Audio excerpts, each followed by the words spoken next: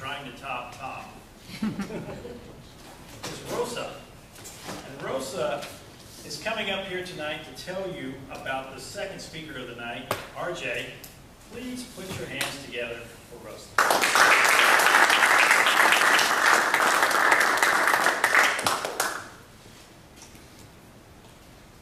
Tonight, I have the pleasure of evaluating RJ. This was RJ's eighth speech from Get Comfortable with Visual Aids. Don't listen. RJ started off by taking us down a walk down memory lane in the mind and the body of an 11-year-old.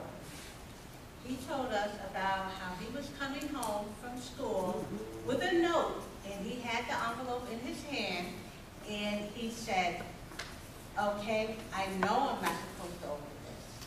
So he had us curious to a point, what's in the envelope? We wanted to know what was in the envelope. So did RJ at age 11. And of course, as RJ pointed out, things happen to envelopes when we have to bring them home from school. Especially when we want to know before our parents find out. And it just so happened that the envelope opened. Now, RJ also told us about how he was in school. He was an average student, he said. C's, C plus, he was happy. He was good there. However, there was just one teacher, Mr. Davis, that RJ looked up to, he respected, he admired, and he excelled in his class. So he knew that it couldn't be a bad report from Mr. Davis because he gave his all in that class. Then he goes on to tell us how Mr. Davis note saying that he felt that RJ was not reaching his full potential.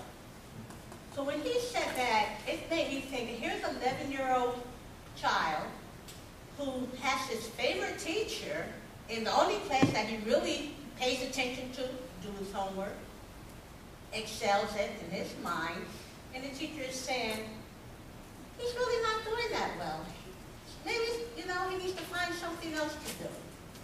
So what RJ did is he then took us how that note made him work harder, and in the back of his mind, it set into motion, I'm going to outdo everybody. Anyone who said that I cannot do this, I'm going to prove them wrong. And that was what his goal was. RJ proved them wrong. As he said, he is now working on another degree. He has several degrees. He has excelled in everything that he tried. The area of improvement for RJ that I would say is because he did go over time, I would say that he should practice his speech at home with a timer so that he will know how much time he has.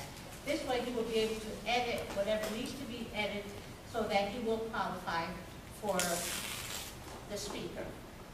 He did an excellent job. His presentation great. He had great floor.